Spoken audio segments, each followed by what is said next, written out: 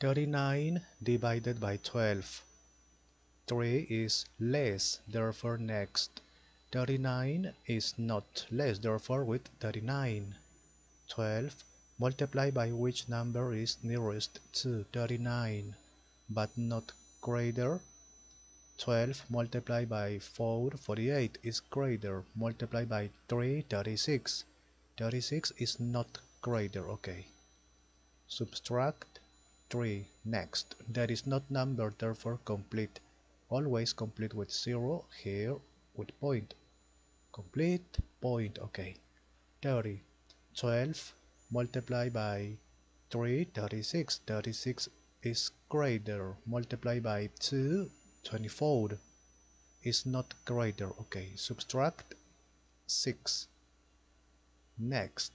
That is not number complete. Complete point point is here. 60 12 multiplied by 5 60 is not greater okay.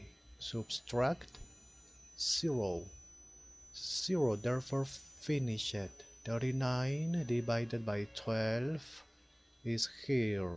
Okay